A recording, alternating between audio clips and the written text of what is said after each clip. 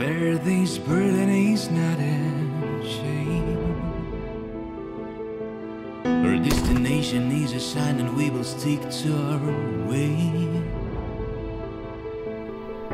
Now, everyone, flame up and glow. It's been so long since we had power.